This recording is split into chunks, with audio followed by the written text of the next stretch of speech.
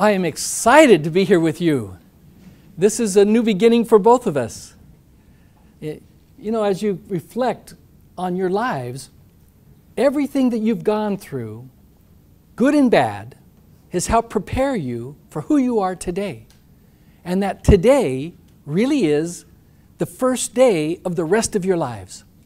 I mean, that's exciting to think that. In America, you know, we, our country was based on a document called the Declaration of Independence. Okay, and this was at a time, 1776, when around the world it was assumed that if you were the king or the queen, you had the power and everybody else's job was just to support you.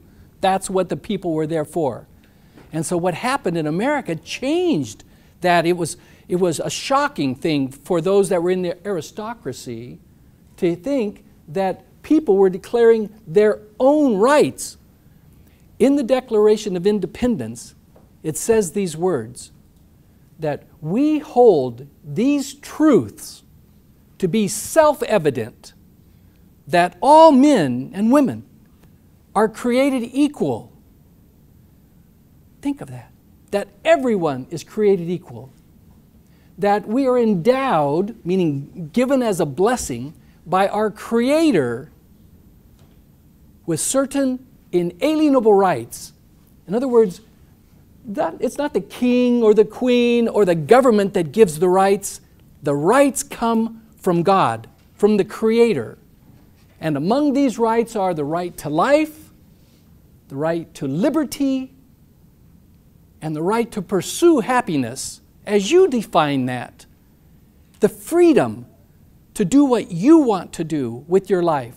And maybe it's not much, and maybe it's great things, but this is the opportunity to do that. And it goes on to say that to secure these rights, to make sure that you have them, governments are created deriving their just power from the people, not from birth you know, not from power or the gun or cannons, but from the people. So, welcome to America because you are now part of us, part of the people. You're Americans. And that means something.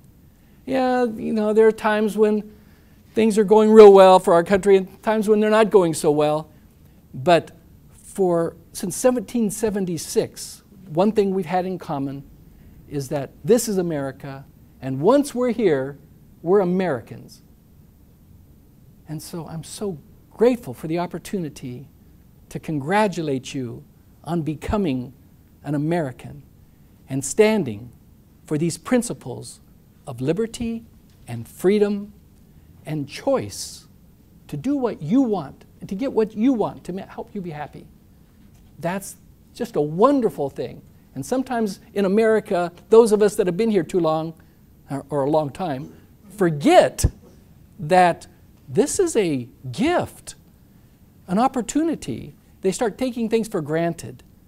And we don't want to do that. And you're taking this effort and doing all that you need to do to be here today helps inspire us that have been here for sometimes generations to remind us that this is a great country and it truly is a shining light on a hill, manifesting what it means to be free to the rest of the world. And we've got to make sure we don't lose that, and you're going to help us gain that and keep that, that idea, that enthusiasm.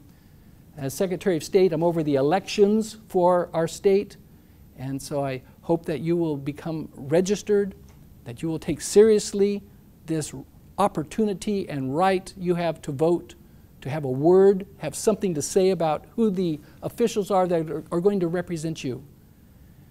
And so I'm just delighted to be here today, and I want to thank you for the opportunity to address you. This is the first public appearance in my new term as Secretary of State.